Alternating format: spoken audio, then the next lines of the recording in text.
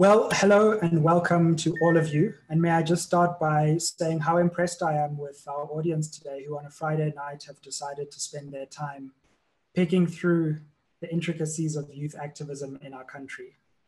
It's great to have you all with us. And goodness me, we have quite the panel and quite the event ahead of us. It's generated a lot of interest on social media, rightly so. And I really look forward to kicking things off. But firstly, let me start by thanking Accountability Lab, who has brought us here today, along with their partners, the Danish Embassy of South Africa. Thank you all very much for making today possible. With that said, let's get on to the main event. South Africa boasts a proud history of youth activism, but in recent years, it feels as though youth activism has been at something of a low ebb. Why is this the case? And how can we build a coalition of youth activism to hold government to account?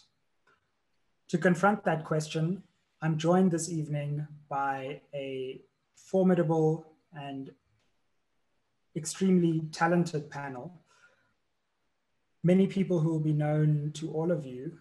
First, we have Professor Mamokgethi Phakeng, who is the Vice Chancellor of the University of Cape Town, a professor of maths education and uh, recipient of the Order of Baobab in Silver, also deputy mother to many young South Africans. We have activist Shaeera Kalla, who rose to prominence as SRC president at WITS and was a leader at the forefront of the Fees Must Fall movement. Also recently completed an MSc at the University of Oxford and a well-known person in, in the South African public sphere and Koketso Moeti, who is founding executive director of Amandla.mobi, my my fellow co-panelist in many panels. And uh, she has received enough fellowships to sink a considerable ship from Obama fellowships to Aspen fellowships to Atlantic fellowships, and has published her writing in a wide variety of places, including The Guardian and Al Jazeera. So thank you all so much for joining us on this panel today. And I'd like to kick off with you, Shaeera, as you respond to the opening prompt, and we'll go to each of our panelists before we kick off a, a conversation. The floor is yours, and I've asked the panelists to start with opening remarks of around three minutes. Thanks so much, Sizwe. It's great to be with you all today. Um, I think we've seen it play out when the youth expresses their voice, um, it's swiftly dealt with. And it's often seen as a threat to the status quo. So, what I am really interested uh, today in focusing on is trying to push us to ask what role do other actors and agitators play alongside youth um, who can sometimes indirectly be a part of silencing the youth by their own silence or by their lack of imagination on how things can be different. So um, there's a violent dismissiveness often in how quick society is to ridicule young people who are fighting for change. And beyond what seems like a sterile passivity of this moment, like you've said, there seems to be an ebb. Um, there's also a generation that have been deeply affected by um, the action and the activism that, that we've seen through fees must fall, through Rhodes must fall. There's been police brutality. We've seen many students um, and young people more broadly, not just students at universities, suffering from mental health challenges, um, and even the criminality of our high unemployment rate. So we've seen the latest statistics on youth unemployment at over 60%, some of the highest in the world. And despite being in a system structurally built against youth, when I have conversations with young people, um, it's interesting how things like universal basic incomes and having a moral and social right to the economy um, are not seen as positive things. People still really believe that hard work alone leads to getting employed, even though unemployment is structural, that grants create laziness, and then you explain that poverty is intergenerational because of structural injustice. Low income is actually a code word for economically looted because the structural injustice that we see has been built on the backs of millions of people. So in spite of all of this, um, you know, the power of neoliberal capitalism as an ideology uh, that I think young people feel so defeated by in many cases, um, there's also sparks that will light the way. And we see it in a much younger, intelligent, global youth voice demanding accountability for the mess that the world is in. Because they, like we, should understand that we're set to pay the price for this mess. So as the conversation unfolds, this is, this is, these are some of the issues that I'm going to unpack a little bit more. Thanks so much, Shaeera, uh, for some provocative opening remarks. Um, we'll move now on to Koketso. So I think that um, I'm not one to talk about whether there is a rise or a dearth of youth activism or activism in any form of or sort, right? What we do know for a fact is that over the last couple of years, we have seen the power of the ideological numerical push of young people, masses of young people across the continent, across the world. And this has been able to affect significant changes. We're talking about um, whether it is in terms of the backlash against unconstitutional presidential term um, elections, um, the reversal of unpopular decisions, such as you know repeated bans of social media, but also over and above that, there's been a significant challenging by young people of the monopoly on political discourse, right? Um, we've seen it in many forms and in many ways, but we also can't ignore how also youth are not a homogenous mass, right? And so when we talk about activism, for, for example, in South Africa, very often people will refer to the Fees Must Fall movement and so on, which kind of overshadows the other many things that are happening throughout the country, right? And so this is a question of what's visible and what's unseen. We may talk about, you know, there's a slowdown in youth activism, but again, just because we do not see it doesn't mean it is not there. And I think that's the challenge that I do want to pose. What do we, what discourses are overshadowed? What narratives are dominating discourse that we are not seeing? but over and over consistently, particularly in the last couple of years, not uniquely to South Africa, not uniquely to this continent, we are seeing young people push back, push back on decisions that are being made by people who will not live with the consequences thereof, right? We are seeing pushback against injustices that the people who created or the historic injustice and the ways in which it has continued right now um, people will not live with the consequences thereof, you know? And so that's that would be my starting point on the conversation and the prompt.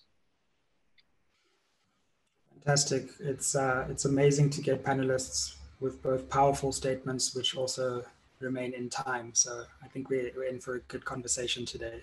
Thanks so much, uh, Koketso, and um, Professor Phakeng, who's asked me to also refer to as Kgethi. Um, the floor is yours. Thanks very much, Sizwe.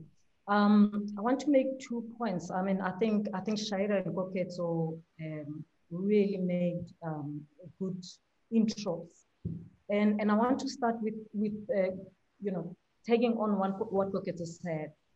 My my concern, I mean, my view is that we've got to start asking what counts as activism. Um, does activism always have to be a protest? If it is not a protest, what does it look like? Perhaps even if it starts with a protest, what does it graduate to? What does it, what does it become after how long? Because there is a time for rhetoric and then there is a time to do something else. And I, I, think, I think when we say um, we are not seeing youth activism, sometimes people mean that they are not seeing student protest. And, and I don't think it means it is not there. And if you think about it, back in 2009, many analysts argued that the youth, the youth of South Africa was apathetic, was apolitical, unaware of history, of the struggle, and you know, they don't know where this country comes from. Uh, they were given many names, Born Frees, Mandela Generation, Black Diamonds, whatever. And it was almost like it was many newspaper articles. You know, 2012, there, there were many. And then 2015, boom. And when it happened in 2015, the very same people who were writing beautiful articles about the youth being apathetic and apolitical, you know, started saying, what is this? They shouldn't protest this way. We were activists in the 80s. We know how to do it. They should do it this way. And then I, I remember sitting in some meetings saying, but why is it that your way of protesting is the way of protesting or the way of activism? Why do you not call this activism? And so I think we should, we should, we should sort of unpack what counts as activism. And, and when we say the youth is apathetic, what, what do we mean? When we don't see protest, what else is happening? Thanks, Sizwe. Absolutely. I think before um, I ask you to respond to each other and, and, and think through what, what each of the other panelists um, has said, I have a few specific questions from your respective perspectives because I think you each bring different dimensions to this conversation. Um, so I just want to start with you, Koketso, and, and ask, particularly in the digital realm, because of the work that Amandla.mobi does um, and the groundbreaking work that it's done in that realm, can you talk us through some of the lessons that you've learned about uh, youth activism particularly in the digital sphere? So, while I have no doubt that the digital world opens up a whole new set of possibilities, like communicating and coordinating at a scale previously not possible, I am hesitant to exceptionalize it. Um, throughout history, technology um, has always shifted and activists have found ways to use it. So for example, you think about how print technology enabled publications such as the Labor Bulletin to come to exist, right? So I'm not a fan of the phrase digital activism. I think there's activism and tools like digital technology are just that, another tool of many that can be used as part of the activism we do, you know? And I think that's the key thing. Um, this exceptionalization can be quite dangerous when I think about how people talk about social networks, right? As, you know, just a thing that existed now. You think about a previous piece of technology that existed that was called the fax machine. If I had a fax machine, I could only fax people with a fax machine. And therefore, fax machine holders had their own unique social network, right? In which they could fax each other. So again, I go back to I'm hesitant to exceptionalize because throughout history, this has been what is going on. And again, it is another tool available to us to use, but we cannot replace people with, with people with tools. Tools are just that, tools that we can build with, but also tools that we can destroy with, right? And so we should constantly be thinking about the values, people, that's what we should be centering, and the tools will be informed by that. Prof. Phakeng, before I come back to Shaeera, uh, as a vice chancellor, you have a unique window not only onto the kind of student activism that's happening at UCT now, but across the university sector in the country. How do you see the current state of student activism, both from your perspective at UCT, but also more widely in terms of, of the country? I mean, students continue to push. It's how they do it. I mean, I, I find that in 2015, uh, students were united around an issue. So the activism was issue-based. It didn't matter what political movement you belong to. And 2016, it was the same and it went on. At the moment, I see that our students have become more, you know, party-based. And, and, and as, as, as important as that is, is for them, it feels to me that it dilutes their voice. Because with that comes competition for the space, for, for, for the voice, and, and everyone wants to stand out. It's no longer about, sometimes it's not so much about the issues. uh, sometimes it's so much about who's more visible and who's doing whatever. So, and, and, and, and, and, and, you know, that worries me as much as I know that political organizations, you know, they recruit young people and it's important that young people get involved in this way. I, I wish that um, when students come onto campus, I mean, if you think about um, um, the situation with Uyinene last year, I mean, again, that's why I saw students come together. Gender-based violence, they didn't disintegrate into parties. They came together and, you know, and I think, I think we need more of that. And for me, that was the power of Fees Must Fall and Rhodes Must Fall. It was that united voice on an issue and um, uh, you know calling a, a, government to account and asking the vice chancellors the same. So it, that I think is, is, is missing, and we, we have to ask why. And so what does it mean?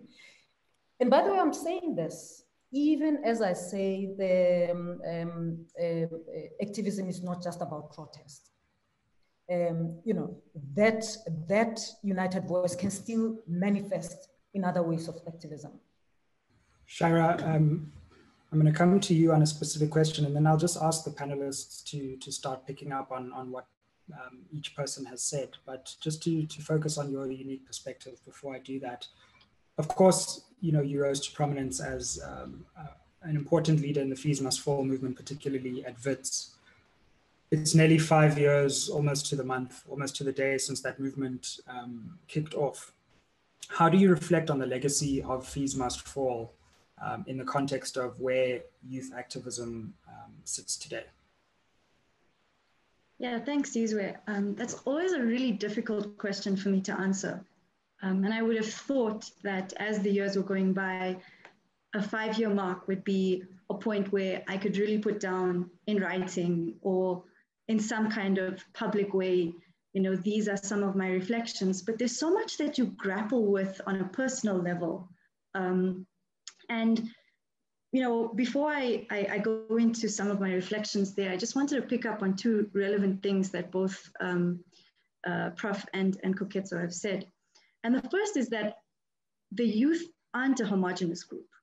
And, and that is one of the challenges when we have these conversations because there is no way that we can cover every issue. Um, but what I can do is speak from, from my perspective. Um, and what I've been feeling um, when I speak to people in youth in communities, like I was in Makause last week, two weeks ago actually, and when I speak to youth at universities or at schools is that there is a heightened conscientization of what's wrong. But there's also the divisions politically, which is something that, that Prof uh, touched on, um, the party politics, so to speak, that people are both frustrated with, but also in the same way um, feel that their issue, their struggles are legitimized by. And in that way, a very leg legitimate issue or a cause uh, like free decolonized education or decommodified and decolonized education can become a political football. And we did see that happen in 2016. So as for my reflections, the posturing of, of the question around um, what would a sustainable youth-led coalition for government accountability look like? It's something that places, it creates a hierarchy of sorts, which places young people at the mercy of an all powerful government that they must now hold accountable. And I think the real question we need to start asking to move forward is how are we creating spaces for society in general to untap the shared wisdom and new standards of what is acceptable and what is expected of the state, and a culture that enables a healthy and healing society, one where the youth aren't seen as the enemy, but rather can be part of the change, can even be part of our governmental structures. And that's not to say that once you've got representation as young people within governmental um, spaces, that you're not off the off the menu, because it's it's it's much bigger than representation. We can talk about that even when we look at the U.S. election. But for me, looking at what's happening in Nigeria as well, you know, it reminds me that fees must fall, um, like many other movements, can also cease to transcend the moment within which they're happening. And I think that is the biggest shame because this is a, struggle that is very much incomplete. Uh, yes, there were tangible benefits. Um, you know, we saw an end to outsourcing. We saw students and workers come together in a beautiful, important way, historic way. We also saw that um, a wider, you know, group of students were now, you know, able to access state funding. That is a tangible thing. But the structures of our commodified university system still remain intact. And that for me is why I think fees must fall was really the tip of the iceberg. Education is still seen as a, a means of just getting a job. And that is exactly what decolonization was trying to challenge that it's not just about getting a job, it's also about thinking critically about the society in which you find yourself in and changing that society for the better. So these are some of my most potent reflections and hopes, I guess, as we, as a new generation of young people, um, have what it takes definitely to, to continue the struggle. Yeah, it's, it's fascinating to hear those reflections that these five years on, um, and also to see some of the themes that are emerging from this conversation. What I'm going to do is, is ask other panelists to engage with what they've heard so far, um, so that we can try and keep this conversation, you know, with, within a certain um, set of set of themes. Um, so either Kgethi or Koketso, is there anything or any themes that are emerging that you'd like to develop on or, or continue to, to challenge or, or think through? I mean, uh, um, it's interesting what Shaeera said about um, uh, education is not just about jobs, and that's true. But in a country with levels of unemployment, poverty, and inequality, how can students unemployed graduates, not much in demand jobs on the basis, just on a simple basis that they got a degree. I mean, I have a problem with see education being seen that way. But I understand, and, and I think, I often think, why am I expecting them to do that? I think it's us who are privileged who say, but it's not about that. But it is about that you know, because for some people that's, um, um, and, and, I, and I guess the issue is who decides what should activism focus on? So we, we see young people who graduates who, who want to protest to get jobs and, and they see that as a big issue. And I, and, and I understand that decolonizing, um, decolonization is not, is not about that. And of course, you know, the, the discourse of transformation and de decolonization has become so adulterated. You know, it's, it's, it's, it's, important, but it's unhealthy. It's, it's about numbers. We don't want it to be about numbers, but in fact, we are challenged just on the basis of numbers. It's, you know, it, so it, it lacks depth because it, it's not moving. But but part of it is because there's bread and butter issues that that people want resolved, and that's why it becomes simplistic um, and and not so helpful. So we have to ask ourselves, how do we, how do we move from there? How do we, even in the space um, where there's just activists that, you know, youth, young activists, that there can be an understanding that, uh, um, you know, we are on the same side, we are joined on an issue. Uh, we come from different socioeconomic class. You know, some of us are here, we go back to our shacks. And so I've got another struggle um, that I'm that I'm busy with, and I want that struggle to be on the table too. You know, and and and those uh, you know those issues I think are, are important as well. And and sometimes they're the ones that make the the group disintegrate. I mean, um, yeah, they, they they can divide a group when people start focusing on their bread and butter issues and not lift higher.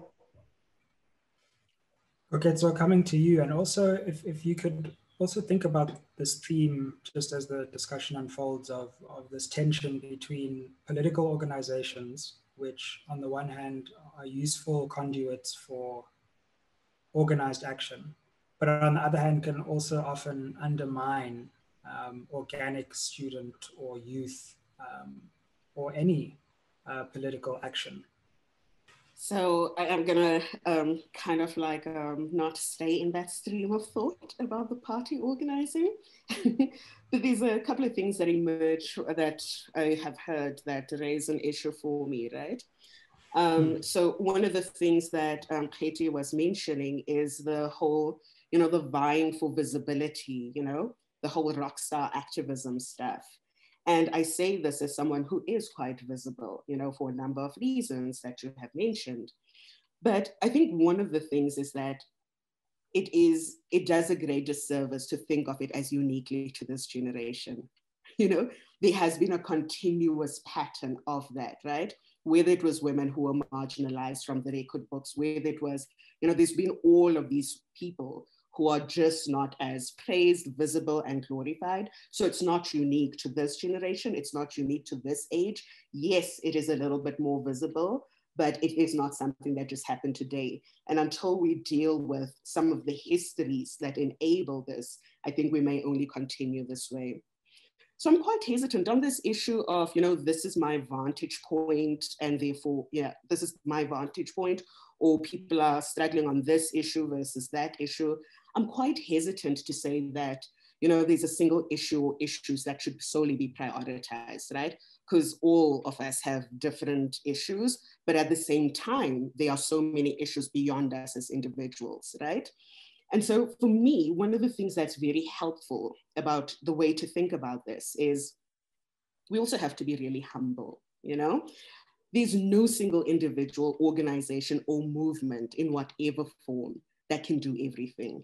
Um, it's tempting when one is organizing, whether as part of students, whether outside of that, in any space one is organizing, it's tempting to think of oneself and one's movement and one's organization as being at the center of the world.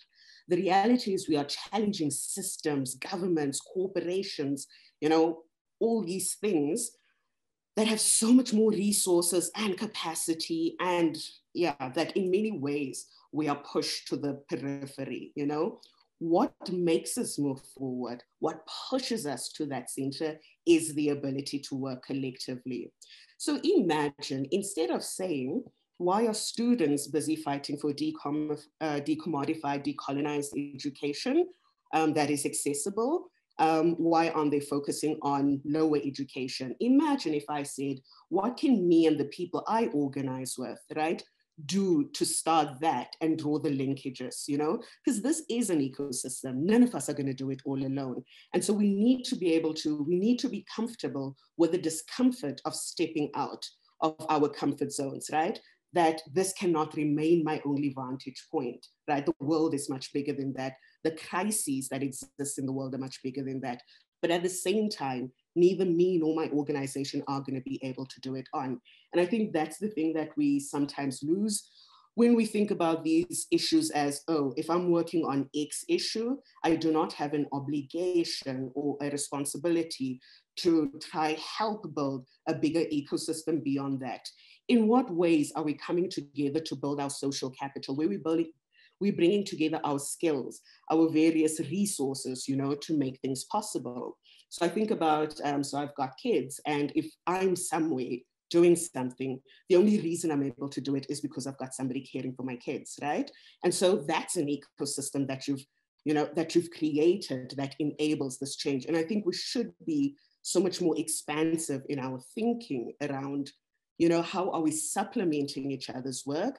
What are the ways in which I can do this? I can start ways to supplement, but also what are the ways in which I am creating the conditions for the organizing I do to be supplemented, right?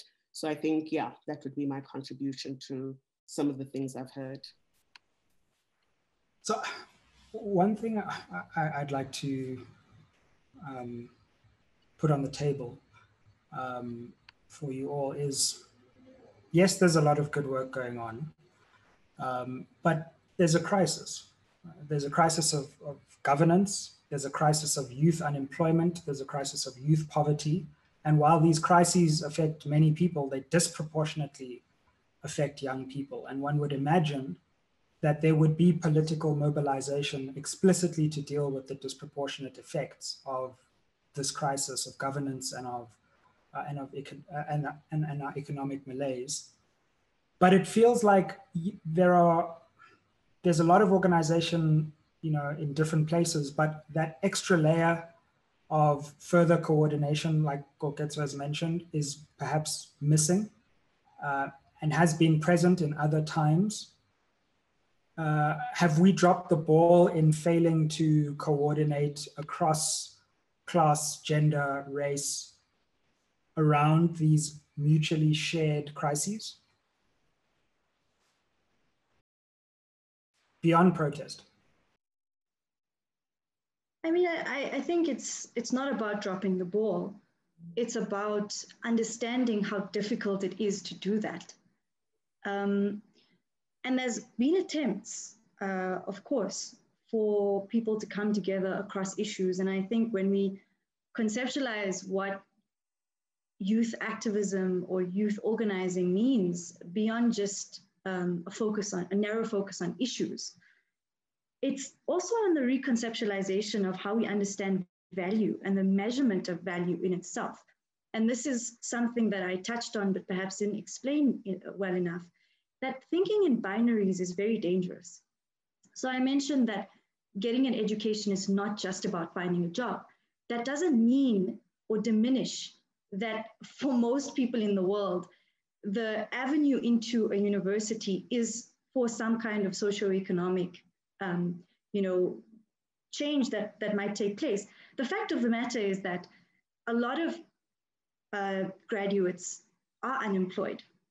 In fact, when we think about unemployment in itself, it's, it's not just contested in terms of what sector you're in, it's also contested in terms of the changes that are happening globally in our economies. For example, the president just released the Fourth Industrial Revolution report. If you read that report, its main focus is on how economies can benefit from the technologies that are you know, going to be at our at our feet. And that for me misses the whole point of dignity and humanity in, that should be inherent when we think about technology, as Koketso right, rightfully said, as a tool. Because in and of itself, it really is an empty shell. Anyone can do with it what they please.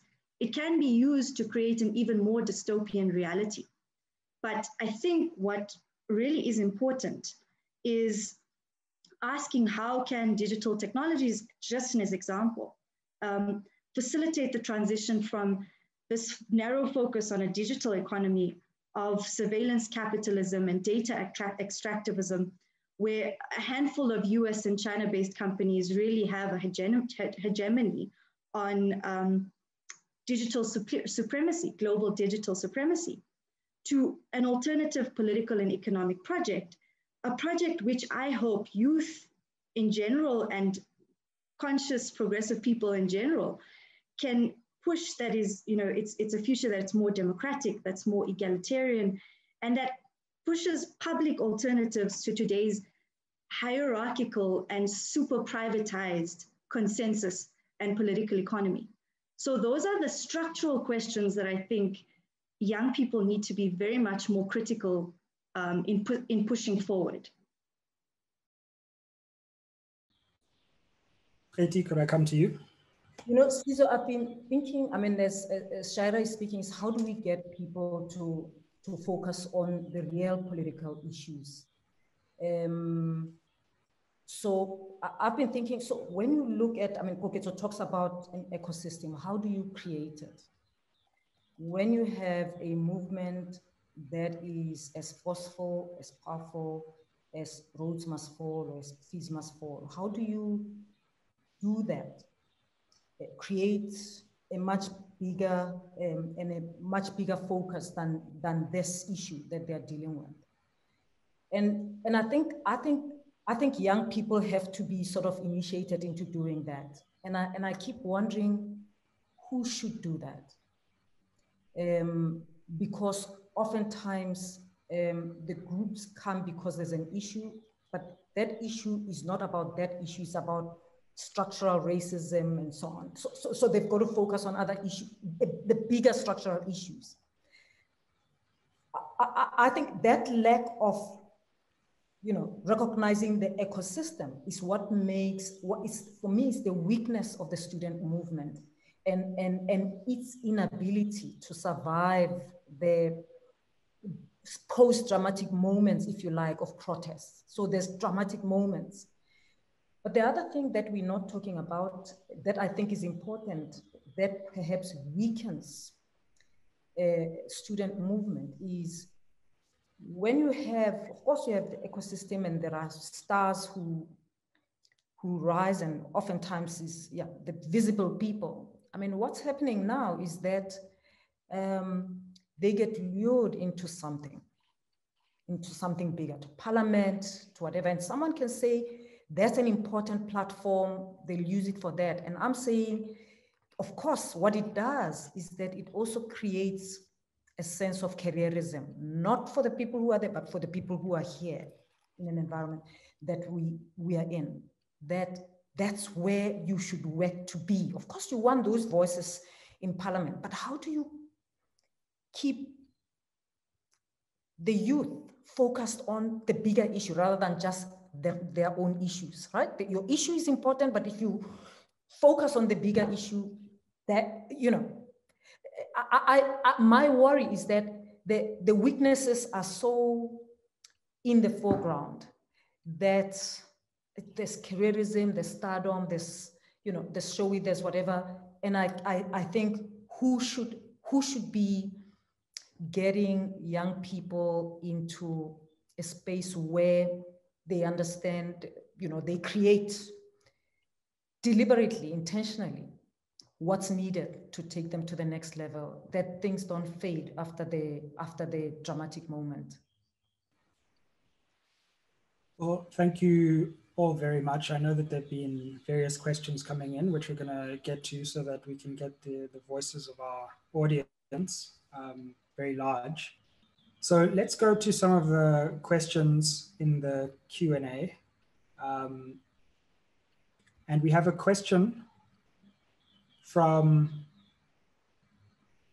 Mpumelelo, who says, we have politicized everything. Activism was possible when I was still in high school. 2015, the 16 year old me was looking forward to the unity I used to see on TV and on social media, but unfortunately it's nowhere to be found. I think politicians should deal with the competition amongst them. It's dividing not just the youth, but also the whole country. It is not about who is better. It should be about coming together with our differences and bringing solutions in unity. Would anyone like to respond to Mpumelelo's, Mpumelelo's question about the, the division created by political parties? I think political parties, I mean, as long as you have elections, there'll be competition. And, and the issue is what, what that competition looks like. And, and, you know, and young people are the best place to recruit people who will propagate the message and, and so on. So I, am not sure that it will, it will change. The competition will change. It, the issue is, can our young people be more enlightened to see through it? Okay, we've got quite a few questions, so I'm going to ask an, another one for a different panelist. Thanks, um, Reti. Um, asks, taking into account what Shaeera said about education as a tool with which to help one think critically about their community, and what Prof. Phakeng said, that activism may not just be about protest, but that there are that there's more to activism than protest. My question as a township school teacher who believes that schools, not just universities, have a responsibility of shaping young people's lives for tertiary living, I'm going to try and summarize. Yes, essentially, what can we do to mobilize the school sector to hold mm. government account in education more broadly? I love this question. Um, and it's something that I was thinking about a lot in 2016 because there were two groups on campus. The one is that we need to keep this um, you know, this issue in the university, and the other was that we actually need to keep it in the university, but we also need to move into our communities. We need to explain to people why this is still on the table, why President Zuma's announcement of a 0% increase is inadequate and doesn't deal with the demands of the movement, and how this is just the tip of the iceberg, that a decommodified and decolonized education system does not begin and end within the ivory towers of the university. So lately, I've been speaking to a lot of equal education's unemployed post-school youth.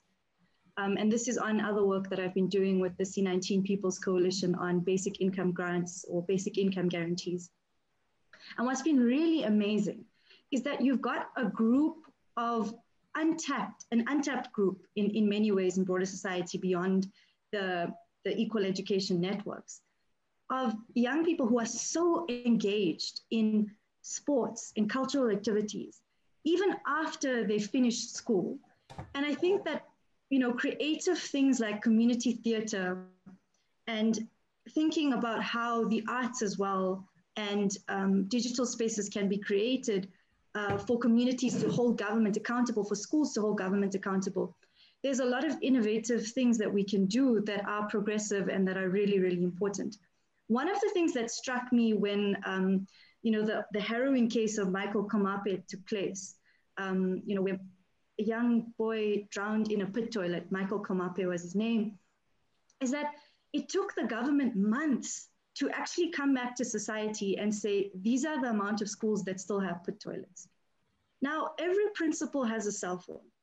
Why can't we create some kind of system where we are more agile at holding government to account, but also we come together with the skills that we have within society to, to deal with issues that are far reaching. So they're not just going to be beneficial for the schools at a particular, uh, for the kids at a particular school, but that fundamentally change the precedent, change the norms and expectations of how we think about our education and how we think about our community mobilization.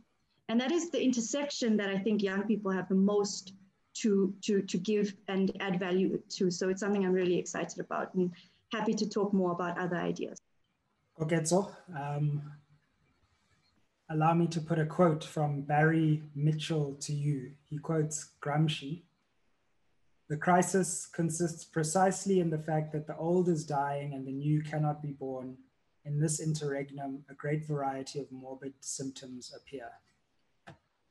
Yeah, yeah. Um, it often feels that way, hey, particularly I think in this COVID moment, you know, we, in so many ways, inequality has been with us. I mean, we have this global rising inequality, we have this environmental crisis that's happening, and we have almost this, yeah, over the last couple of weeks during the COVID times, I mean, I have seen support for basic income support or basic income grant from very unlikely suspects, you know? You're seeing this kind of like a recognition and a reckoning that's almost possible, but it just doesn't quite get there. So it feels like the quote of our times, to be honest, you know? And one of the things that I just have been reflecting on about, you know, just how you bring forth, how you birth, how you kind of, because you're going to actively have to force it to be born, you know?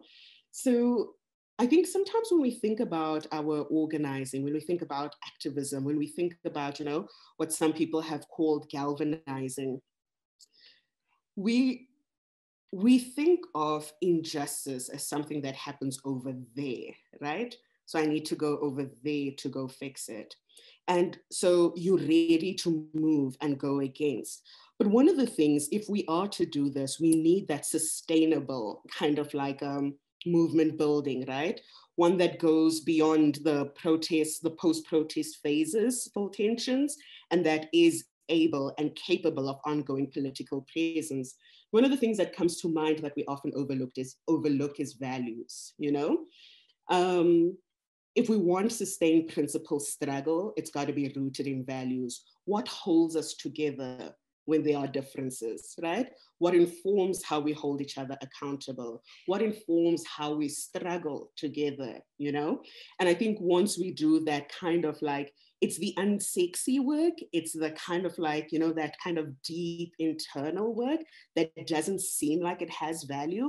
But when you get there and you do the work, actually, it has so much value and is able to sustain you beyond, right? And that is what we need to force this world to be born, um, to be born over, you know, this kind of like tension in between. Of course, there's a lot more, but that's just one part of it. And I think, yeah, we, we just, we overlook the hard internal work, you know, that must go on amongst us and our peers, but also just the idea that our organizing must appeal to the masses. I'm not, my protest isn't legitimate unless there's one people, one million people in the street, right? If we think about some of the biggest sustained mass movements and how they started, you know, among 12 people who were able to sit together and get something going, among people who could just contribute in such different ways, not all of them very visible, you know? I think that's just the starting point. And yeah, one can only go take it from there. I didn't answer the question, but it's just a reflection that came to mind. Absolutely, absolutely. It, it, was a wonderful reflection. I feel like you did as well. I feel like you did answer it. Um, you know, we have two questions here which are quite similar, so I'm going to put them together and feel free to, to uh, share your thoughts. One says from Yusuf, I've noticed that conversations on youth very often look at questions from the urban perspective to the exclusion essentially of both small towns and rural villages. Um, and then we have um, uh, Luyanda, who says a case study undertaken by experts in the education space found that kids from urban private schools are more informed about activism over their peers from rural public schools. How do we then integrate activism into the rural schools? So this question of the different uh, lives that South Africans live, depending on the spaces where they are, and how activism links to that. Thanks, Sizwe. I mean, again, it's what counts as activism. I, the village that I come from, where I went to school under a tree, and I was doing like Michael, pit toilets. You know, it's interesting that the young people from that village, I've been in contact with them this year and what they're doing. I mean, I was amazed at the, the newsletter they have, what's in the newsletter, you know, out of nothing, they, they, they're doing something. But, but there's, a, there's also an idea, and, and I, you know, I had dinner with some uh, young people last week who one of them is just graduated, the other is completing. And, and I was saying to them, so what's next? Because they, they are activists. And, and I said to them, so what next? As an activist, what, do you, what are you going to do? And and you know they they talk about a life in the city in whatever and of course they have the right to do that. So i dropped an idea and i said isn't it time for activism by us black people who come from the township that we say we're going to go back to the township. We're going, we're going to live there with my doctorate with my bcom or whatever. Going to we move into the township, we have a movement that says we move into the townships, we, we, we, that's where we live. We take our children to the school nearby, we go to the church nearby. If that happens, I tell you the school in the, in the village or in the township where, where, where, where the people have moved in, we'll start doing things better because the parents will come if the homework is there's no homework or if the teaching is not there will be support for the school that and and i think i think we we need some activism. And when i said that they said oh no no no no prof wait. We can't move into the township. How can i even move into the township? It will be dangerous for me. I won't even sleep one night. I might just die you know that's and then i said but what if we go as a as a you're not alone so you're not like standing out alone? That uh, and you, you we start working on mobilizing from within because this idea of people coming from outside to mobilize there because you know it's it's it's, it's like you know missionaries like we we here to mobilize. And i and I, I i'm toying with the idea of moving in mobilize from within be one of them uh, especially for us who come from villages. I don't have to be i'm already one of them. It's just that i decide to live with them. And and i think I think, I think perhaps it's time for that kind of activism. I know that is not necessarily easy, but I think activist students, when, when June holidays come, December holidays come, perhaps it's time to ask myself how, what, what activism am I taking to my village or my township? How, how am I mobilizing young people there? How am I building now that I am um, I, I, have this advantage of being an activist in a space uh, with other people yeah, I, I don't think we can just wait and, and expect someone to do it. So I'm gonna I'm gonna leave it there for asking you to respond directly to the questions because we have five minutes to go. But what I'm gonna do is read out the remainder of the questions just so that we can all hear them. And then what I'll do is ask our panelists to just deliver some, some closing remarks and summarize um, their thoughts going forward. So let me just get to a few of the people who, uh, who have also sent questions. Uh, Tobani thinks that the fees must fall movement should be taught in the school curriculum. We have uh, Craig, who says that considering the massive levels of inequality and economic disparity, how do we galvanize in fighting the vast systemic issues in our society? And I think Koketso actually touched on that. Uh, wanted to raise government's IMF loan um, and what the impact of that loan would be on South Africa's youth and future generations. And Reggie um, said, taking note of high levels of unemployed graduates, what do you think the role of institutions of higher learning should be? And finally, Tahir said, in the light of social media, activism often just feels like keyboard fights. How can we bring these movements to the streets, for instance? So thank you to everybody in our uh, audience who participated. I hope you've participated in the poll as well. And then finally, to thank the Danish Embassy and Luminate, as well as everybody at Accountability Lab for, for putting this together. So uh, when we close, I'm going to come to Kgethi, I'm going to come to Shaeera, and we're going to end off with Koketso. And I'm going to throw in my final thought, and that is that government is very comfortable. They went through a period where they weren't, and I feel like they are feeling very comfortable right now. Um, your thoughts? Thanks, Sizwe. Um, uh, I, I, agree with you. It's not only governments who are comfortable. I think the establishment is comfortable. And I, I, I therefore think we need, we need radicalism, the kind that can reimagine you know, because I'm in a university, I would say reimagine the university as well as its role in a constantly changing world.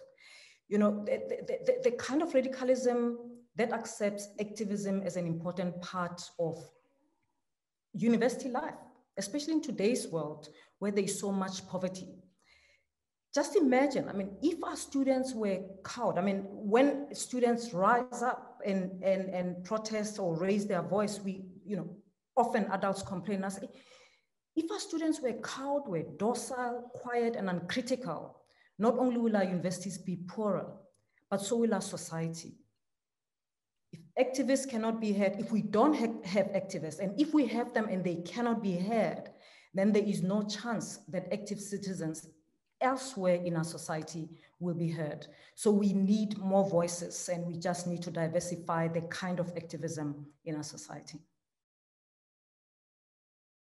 So I think for me, um, what's really fundamental uh, to any question around how we move beyond the dystopia that we currently find ourselves in and escape an even worse dystopia is that we need to let go of the norms that are holding us behind, like the myth of a deserving poor, uh, when we know that poverty is structural, um, the myth that prosperity and growth are good for us, when we know that the kinds of prosperity and growth that we see are damaging and destroying the planet. Um, and through my experience in the past few months presenting um, in civil society submissions and putting forward objections to budget cuts and uh, pushing for accountability for corruption and basic services like distributing food parcels and grants in a once in a century global pandemic. What I've really come to realize is that the structures of government have not been set up to serve people, or if they were set up to serve people, they've been uh, captured and the state capture ruckus that we saw, I mean, it, it, it, it was again a moment.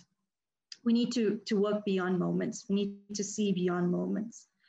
So what I'm really interested in is how can we creatively reimagine how these spaces like our parliament, uh, municipalities, public entities, and state and, uh, and civil um, organs how can they be restructured to represent and serve the people? And the pandemic itself, although it's making us question the very ground beneath we, which we stand, it was never going to be a portal on its in itself to a better world. Like anything, it's what we'll make of it. And so my appeal um, is that we can't just engage in expressions of solidarity in the absence of the practice of solidarity. So Prof mentioned that you know we should go into the townships or we should go into rural areas. The, the townships themselves were created to keep people out. So we need to question that and we need to decide as a society what kind of future do we want? Where do we want people to live? How do we want to develop? And I'm hoping that with a progressive youth voice, we can have something that is much more egalitarian and inclusive and democratic. The two most important things are our laws, our norms, our culture, and, our, and, and essentially our people. Um, so for me, if, if we can focus on what really counts right now, which is the exclusionary ways in which um, our society has uh, dealt with this pandemic, absolutely you know, exclusionary ways, we can also draw strength that communities have come together. Um, and if anything, it is because of communities coming together and standing in solidarity with each other that we haven't seen worse levels of hunger and crisis. So we can draw strength from that, but we also can't sit on our backs. We have to get to work. Thanks, Shaeera. Um, so as mentioned, you know, there's a lot of work to be done and this just kind of brings me to a reflection. So a founding member of the Black Youth Project, 100, Black Youth Project 100 and author Charlene Carruthers. So in her book, she poses five questions, right? And I find them quite useful. So the five questions are, who am I? Who are my people? What do we want? What are we building? And are we ready to win? So for me, those questions and the way she describes them is that is the need for people to be clear about their own identities, what we care about, who we are responsible to and for, who we are accountable to and for, what our demands are, and whether we what are we working towards and if we are prepared for what we are demanding, right? It's one thing to birth a new world. It's one thing to force a portal, but are we prepared for what will come with that portal as well? You know, and I think that's the thought I want to leave us with here tonight, you know, just to reflect on because it is clear that this is not sustainable. And I think the biggest challenge right now, the challenge of our time is for any moment that any one of us is in comfort, for as long as you are comfortable, that comfort is coming at someone else's expense, right? We should be doing something, finding ways. Um, Shaeera speaks about the practice of accountability. It cannot just be expressions. It cannot just be, you know, thoughts and prayers. This is a time when we need to come together with our people and do what needs to get done. Thank you. Thank you all so much, and thank you to everyone for joining us. Thank you.